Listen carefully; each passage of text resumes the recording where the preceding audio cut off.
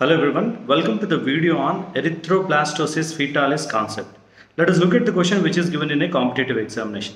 The question is erythroblastosis fetalis arises due to the incompatibility in options given are lymph, blood, synovial fluid, bile. The answer for this question is blood. See on the RBC there is a particular protein known as RH protein.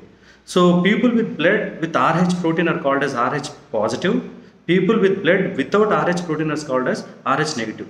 Now this condition arises due to incompatibility between Rh positive and Rh negative. When a pregnant mother with Rh negative bears a baby with Rh positive blood, the mother may develop antibodies against Rh positive. First delivery will be normal. If second baby also with Rh positive is, is there, mother blood antibodies will cause hemolysis of the baby blood. This condition is called as erythroblastosis fetalis. Thank you.